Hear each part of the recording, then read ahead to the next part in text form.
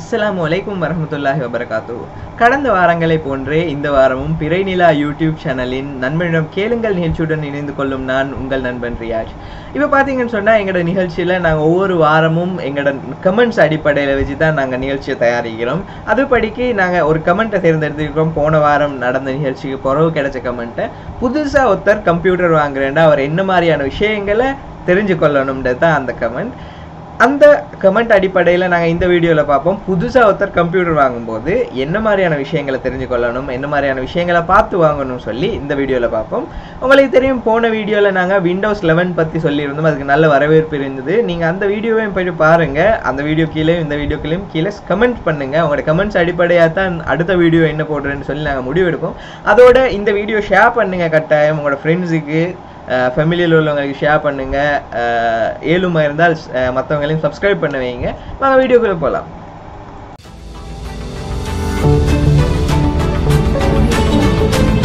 நம் உள்ளங்கையில் உலகை கொண்டு வரும் டெக்னாலஜி நீங்கள் அறிந்திராத டெக்னாலஜி சம்பந்தப்பட்ட தகவல்களை சுமந்து வருகின்றது நிலா வழங்கும் நண்பனிடம் கேளுங்கள். வழங்குகின்றார் முகமது ரியாஜ்.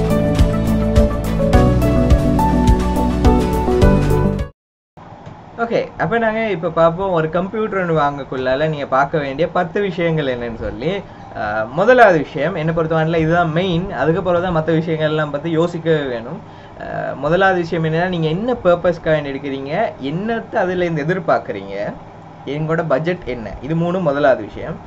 என்னன்னு சொன்னால் உங்களுக்கு என்ன பர்பஸ்ன்னு தான் நீங்கள் நல்லா தெரிஞ்சுக்கணும். நீங்கள் கம்ப்யூட்டர் எடுக்கும்போது நீங்கள் என்ன பர்பஸ்க்காக எடுக்கிறீங்க ஸ்கூல் யூசேஜுக்கா இல்லை யூனிவர்சிட்டி யூசேஜுக்கா அப்படி இல்லைன்னு சொன்னால் நீங்கள் டீச்சர் ஒன்றுனா நீங்கள் உங்களோட டீச்சிங் ஒர்க்ஸுக்கா அப்படி இல்லை கிராஃபிக் டிசைன் பண்ணுறதுக்கு கேம் விளையாடுறதுக்கு வீடியோ எடிட் பண்ணுறதுக்கு பிளான்ஸ்க்கு ஏறுறதுக்கு கேட் டிசைன் பண்ணுறதுக்கு இந்த மாதிரி உங்களோட பர்பஸ் என்னன்னு சொல்லி நீங்கள் ஃபஸ்ட்டுக்கே முடிவு எடுத்துடணும். அதுதான் மெயின் ஃபஸ்ட் நீங்கள் அந்த பர்பஸ் எழுதினதுக்கு பிறகு ரெண்டாவது விஷயம் நீங்கள் என்ன சாய்ஸ் பண்ணணும்னு சொன்னால் லேப்டாப் எடுக்க போகிறீங்களா டெஸ்க்டாப் எடுக்க போகிறீங்களா ஐ மீன் உங்களுக்கு அந்த கம்ப்யூட்டர் போர்ட்டபிலிட்டியாக இருக்கணுமா? அப்படி இல்லை நான் ஒரு இடத்துல இருந்தால் போதும் எனக்கு அந்த இடத்துல போய்ட்டு யூஸ் பண்ணால் போதும். இந்த ரெண்டு ஆப்ஷனில் எது உங்களுக்கு தேவைன்றதை நீங்கள் ரெண்டாவது ஆப்ஷனாக நீங்கள் தேர்ந்தெடுக்கணும். ஐ மீன் முதலாவது ரெண்டாவது பார்ட்டில் தேர்ந்தெடுக்கணும். அதுக்கு பிறகு பட்ஜெட் உங்களோட பட்ஜெட் இதுக்கு நீங்கள் எவ்வளோ ஒதுக்க போகிறீங்க பட்ஜெட் உங்களுக்கு ப்ராப்ளம் இல்லைன்றாலும் நீங்கள் ஒரு பட்ஜெட் போட்டுக்கொள்வது நல்லது. நீங்கள் அந்த பட்ஜெட்டை போட்டுக்கொண்டு பிறகு நீங்கள் அட்ஜஸ்ட் பண்ணிக்கோங்க அந்த பட்ஜெட்டை ஃபஸ்ட்டு நீங்கள் ஒரு பட்ஜெட்டுக்கு வாங்க பட்ஜெட்டை போட்டுக்கோங்க. அது உங்களுக்கு ஃப்யூச்சர் பிளான்ஸுக்கு உதவியாக இருக்கும். நீங்கள் எந்த மாதிரி கம்ப்யூட்டர் அப்டேட் பண்ண போகிறீங்க எந்த மாதிரி கம்ப்யூட்டர் எடுக்க போகிறீங்கன்ற பிளானுக்கு உங்களுக்கு ஹெல்ப்ஃபுல்லாக இருக்கும். பிளானிங் இல்லாமல் யாரும் லேப்டாப்ஸோ கம்ப்யூட்டர்ஸ் எடுக்க வேணாம். நான் ரெண்டாவது விஷயமா உங்களுக்கு சொல்கிறது கம்ப்யூட்டர் எடுக்கும்போது நீங்கள் பார்க்க வேண்டிய விஷயத்தில் ரெண்டாவது விஷயம் ப்ரொசஸர் ப்ரொசஸர்னு சொல்கிறது அந்த கம்ப்யூட்டரை இதயம் மாதிரி இதயத்து இதயம்ன்றதை விட மூளை மாதிரின்னு சொல்லலாம். அண்ட் அதில் தான் எல்லா விதமான கல்குலேஷன்ஸ் அடுத்தது எல்லா சாஃப்ட்வேர்ஸும் ஒர்க் பண்ணுறது அதில் தான் இந்த ப்ரொசஸரை பார்க்கும்போது மார்க்கெட்டில் மூணு நாலு விதமான ப்ரொசஸர்ஸ் இருக்குது. அதில் ஒன்று வந்து ஆப்பிள் நிறுவனத்துக்கு சொந்தமான அவங்களோட கம்ப்யூட்டர்ஸில் மட்டும் வர ப்ரொசஸர் உங்களுக்கு அது தெரியும். அதை பற்றி நாங்கள் கலக்க தேவையில்லை. ஜென்ரல் பர்பஸ்க்கு நாங்கள் எல்லோரும் பொதுவாக யூஸ் பண்ணுற நிறைய பேர் யூஸ் பண்ணுற ரெண்டு கம்பெனிஸ் இருக்குது. ப்ரொசஸர்ஸ் டெவலப் பண்ணி விற்கிற கம்பெனிஸ் அவங்களோட கம் அவங்களோட ப்ரொசஸர்ஸ் தான் எக்கச்சக்கமான கம்ப்யூட்டர்ஸில் இருக்குது. ஒன்று என்னன்னு சொன்னால் இன்டெல் அடுத்தது ஏஎம்டி இந்த ரெண்டு ப்ரொசஸருமே உண்மையிலேயே சொல்ல போனால் மிச்சம் நல்ல ப்ரொசஸர்ஸ் தான். எந்த ஒரு குறையும் சொல்கிறதுக்கு இல்லது. ஆனால் எல்லாத்துக்கும் ப்ளஸ் மைனஸ் சீக்கிர மாதிரி ஒருத்தர விருப்பங்களும் வித்தியாசப்படுற மாதிரி.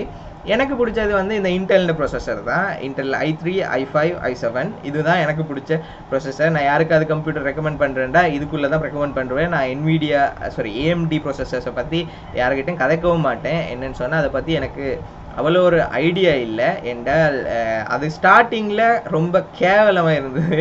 இப்போ வந்து உண்மையிலே ஓகே என்ற ஓகேன்றாங்க லாஸ்ட்டாக நான் இந்த ப்ரொசஸர்ஸ் பற்றி எதுவும் சர்ச் பண்ணி பார்க்கல.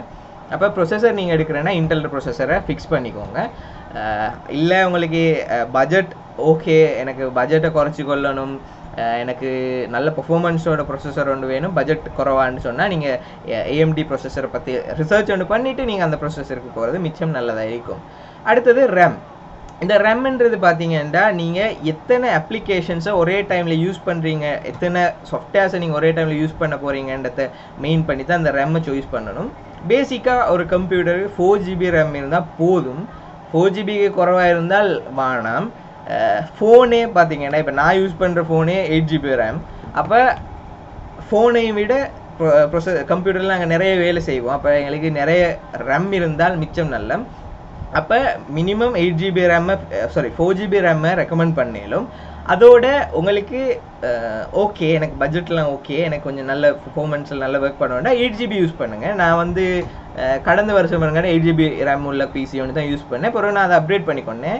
சிக்ஸ்டீன் ஜிபி ரேம் வந்து எக்ஸ்ட்ரா எட் பண்ணிக்கொண்டு இப்போ என் மெஷின் ஃபுல் ரேம் வந்து டுவெண்ட்டி ஃபோர் ஜிபி ஆகிக்குது ஒரு துளி ஸ்லோ இல்லை. ஃபுல் ஃபாஸ்ட்டாக எல்லா வேலையும் செய்யக்கூடிய அளவுக்கு இருக்குது.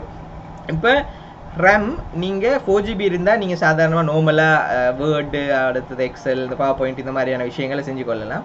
எயிட் ஜிபி இருந்தால் ஓரளவு எல்லா அப்ளிகேஷனும் நல்லா ஃபுல் பெர்ஃபார்மன்ஸோட ஒர்க் பண்ணலாம் எயிட் ஜிபி இருந்தால். அதோட நீங்கள் அந்த எயிட் ஜிபிக்கு கூட போகணுன்னா நீங்கள் இந்த மாதிரி ஒரு வேலை செய்ய போகிறதா இருந்தால் மட்டும் நான் அடுத்து சொல்ல போகிற வேலையில் ஏதாவது ஒன்று செய்கிறேன்னா மட்டும் நீங்கள் அந்த எயிட் ஜிபிக்கு மேலே ப்ரொசஸரை யூஸ் பண்ணுங்கள் ஒன்று தான் வந்து கேமர்ஸ் கேமிங் ப்ரொஃபஷனலாக கேம் விளையாடுறவங்க நிறைய கேம் விளையாடுறவங்க எயிட் ஜிபிக்கு மேலே உள்ள ப்ரொசஸர் ஒன்று யூஸ் பண்ணுங்கள் ஃபோட்டோ அல்லது வீடியோ எடிட் பண்ணுறவங்களும் எயிட் ஜிபிக்கு மேலே உள்ள ப்ரொசஸ் ரெம் ஒன்று யூஸ் பண்ணுங்கள் சாரி ப்ரொசஸர்னு சொல்லிப்பட்டு ரெம் ஒன்று யூஸ் பண்ணுங்கள் அதோட பிளானிங் ஸ்கீறவங்க அதாவது கட் டிசைன் பண்ணுறவங்க எயிட் ஜிபிக்கு மேலே அதாவது ஒரு சிக்ஸ்டீன் ஒரு சிக்ஸ்டீனுக்கு மேலே உள்ள ரேம்ஸை யூஸ் பண்ணுறது மிச்சம் நல்லம் அதோட அந்த ரேம் வந்து டுவெண்ட்டி ஃபோர் பிட்ஸ் ஆப்ரேட்டிங் சிஸ்டமில் ரன் பண்ணுற மாதிரியான ரேம்ஸை யூஸ் பண்ணுங்கள் சில ரேமில் twenty sixty four bit operating system run ஆகாது. ரேமுக்கு பிறகு நாங்கள் வந்து கண்டிப்பாக ஒரு கம்ப்யூட்டர் எடுக்கக்குள்ள முக்கியமாக பார்க்க வேண்டிய விஷயம் தான் ஹார்ட் டிஸ்க்னு சொல்கிறது இந்த ஹார்ட் டிஸ்க் தான் வந்து எங்களோட ஸ்டோரேஜ் ஆகிக்க போகுது. அது மீன் எங்களோட கம்ப்யூட்டரை முழுமையாக எவ்வளோ ஃபைல்ஸ் ஸ்டோர் பண்ணலும் எவ்வளோ அப்ளிகேஷன்ஸ் யூஸ் பண்ணலும் இதை வந்து முடிவு எடுக்கிறது வந்து இந்த ஹார்ட் டிஸ்க்காக தான் இருக்கணும். பொதுவாக நீங்கள் ஒரு இந்த காலத்தை பொறுத்த மட்டும் ஒரு கம்ப்யூட்டர் எடுக்கும்போது நீங்கள் ஃபைவ் ஹண்ட்ரட் ஜிபிக்குள்ளே ஹார்ட் டிஸ்க் ஒன்று பார்த்துக்கோங்க. ஃபைவ் ஹண்ட்ரட் ஜிபி அதுக்கு மேலே பார்த்துக்கோங்க. அதுக்கு கீழேண்டா எடுக்க வேணாம். என்னென்னு சொன்னால் நிறைய இப்போ அந்த ரெசல்யூஷன்ஸ் எல்லாம் கூடினதுனால இன்டர்நெட் கனெக்ஷன் நல்லா கிடைச்சதுனால எங்களுக்கு ஹார்ட் டிஸ்க்டு கெப்பாசிட்டி வந்து அதிகமாகிக்கிற மட்டும் நல்லம் அதோட இந்த ஹார்ட் டிஸ்க் ஸ்பீடும் வந்து இந்த கம்ப்யூட்டர் ஒன்றாகிறதுக்கும் கொஞ்சம் தாக்கம் செலுத்துறதுனால நீங்கள் இந்த ஹார்ட் டிஸ்க்கை வந்து சில சில டெக்னாலஜிஸில் ஹார்ட் டிஸ்க் இருக்குது. ஃபஸ்ட்டு வந்து ஹெச்ஹெச்டி இருந்தது. அப்புறம் வந்து எஸ்எஸ்டின்னு சொல்லி ஹார்ட் டிஸ்க் வந்தது. இப்போ வந்து எம் டூ ஹார்ட் டிஸ்க் இருக்குது. நீங்கள் அந்த எஸ்எஸ்டி இல்லை செலக்ட் பண்ணுறது நல்லம் எம் டூ வந்து ப்ரைஸ் கொஞ்சம் ரேஞ்ச் கூடுறதுனால எஸ்எஸ்டி ஹார்ட் டிஸ்க் ஒன்று செலக்ட் பண்ணுங்கள் எஸ்எஸ்டி போவே இல்லாட்டி நீங்கள் ஹெச்எஸ்டி யூஸ் பண்ணி ஹெச்எஸ்டிலையும் சொல்லிக்கிற அளவு பெரிய ஒரு அப்செட் ஒன்று இல்லாததுனால ஹார்ட் டிஸ்கையும் நீங்கள் முடிச்சிட்டிங்கன்னா அடுத்தது கிராஃபிக் கார்டு உண்மையை சொல்லணும்னா எல்லா கம்ப்யூட்டர்லையும் எல்லா லேப்டாப்ஸ்லேயும் ஒன்போர்ட் கிராஃபிக் கார்டு ஒன்று வரும். ஒன்போர்ட் கிராஃபிக் கார்டு ஒன்று சின்ன கிராஃபிக் கார்டு ஒன்று வரும். இன்டெலில் கண்டிப்பாக வரும். இன்டெல் கிராஃபிக்ஸ் கிராஃபிக் கார்டு ஒன்று ஒன்போர்ட் இது நல்லம் சாதாரணமாக சிம்பிளாக வேலை செய்கிறவங்களுக்கு இது நல்லம் மிச்சம் நல்லம் இது சிம்பிளாக வேலை செய்கிறவங்களுக்கு அப்படி இல்லாமல் நீங்கள் கொஞ்சம் இந்த கேமர்ஸ் அப்படி இல்லை வீடியோ எடிட் பண்ணுறவங்க ஃபோட்டோ எடிட் பண்ணுறவங்க பிளான் டிசைன் பண்ணுறவங்க அடுத்தது கேட் ப்ரோக்ராம்ஸ் கேட் செய்கிறவங்க இவங்களுக்கு எல்லாம் வந்து சிம்பிளாக என்மீடியா அப்படி இல்லாட்டி ஏஎம்டியோட எக்ஸ்டர்னல் கிராஃபிக் கார்டு சேர்க்குது அது வந்து டெஸ்க்டாப்னா எக்ஸ்டர்னலாக கிராஃபிக் கார்டு வாங்கி ஃபிக்ஸ் பண்ணிக்கொள்ளலாம். அப்படி இல்லை லேப்டாப்ஸில் இப்போ அந்த கிராஃபிக் கார்டு இன்பில்டாகவே வருது. அவங்களே அட் பண்ணி அனுப்புகிறாங்க அப்படி ஒரு கிராஃபிக் கார்டு உள்ள லேப்டாப் ஒன்று எடுக்கிறதுனால. இந்த நான் சொன்ன விஷயங்கள்லாம் கீழே டிஸ்கிரிப்ஷனில் நான் போடுறேன் நீங்கள் அந்த விஷயங்களை பார்த்துக்கோங்க. பார்த்து உங்களுக்கு நீங்கள் லெப் எடுக்கும்போது கட்டாயம் லெப்போ கம்ப்யூட்டர்ஸ் ஏதோ ஒன்று எடுக்கும்போது நீங்கள் கட்டாயம் இந்த விஷயங்களை பாருங்கள் அதுக்கு அடுத்தது தான் ஆப்ரேட்டிங் சிஸ்டம் அந்த ஆப்ரேட்டிங் சிஸ்டம்ன்றது வந்து கம்ப்யூட்டர் வந்து மிக மிக முக்கியமான ஒரு விஷயம். நான் போன வீடியோவில் விண்டோஸ் லெவன் பற்றி சொல்லிட்டேன். இப்போ நீங்கள் லேப்டாப் எடுக்கிறீங்கன்னா கண்டிப்பாக விண்டோஸ் லெவன் அவங்களே இன்ஸ்டால் பண்ணி தந்துடுவாங்க அது தவிர வேறு ஆப்ரேட்டிங் சிஸ்டம்ஸும் இருக்குது.